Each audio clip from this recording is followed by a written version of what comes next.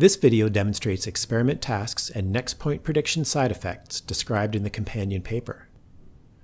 There are three tasks for participants to explore how prediction affected feedback for different movement directions, curvatures, lengths, speeds, and acceleration profiles. Participants reported a variety of issues with the predictors, which we classified as eight side effects.